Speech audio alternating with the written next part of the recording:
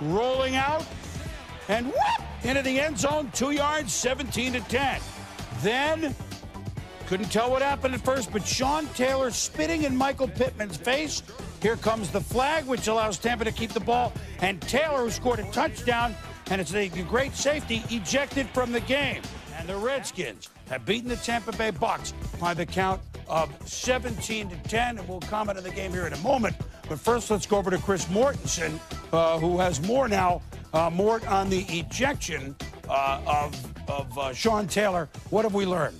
Well, Chris, you know, there was a lot of confusion at the time. Nobody really knew what happened. But according to Mike Pereira, the league's supervisor of officials, who I spoke to a little while ago, don't blame it on referee Mike Carey. In fact, Mike Carey, once he said number 21 defense, there was so much noise, it drowned out what Carey said. And he did say he is been penalized for spitting into the face of an opponent. That is an automatic ejection. Does it disqualify him or get him suspended for next week's games against the Seahawks? No, but Sean Taylor can expect a pretty hefty fine this week before that game.